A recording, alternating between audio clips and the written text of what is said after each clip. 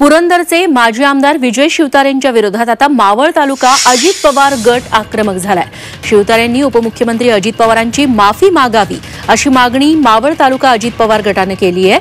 शिवतारेंना मावळमधून मुंबईला जाऊ दिलं जाणार नाही असा इशाराही त्यांनी दिलाय. वरिष्ठ पातळीवर जर शिवतारेंना समज दिली नाही तर अजित पवार गटाकडून मावळ लोकसभेच्या उमेदवारांचं काम केलं जाणार नाही. तर बारामतीत सुनेत्रा पवारांचं काम करण्याचा इशारा देखील कार्यकर्त्यांनी दिलाय.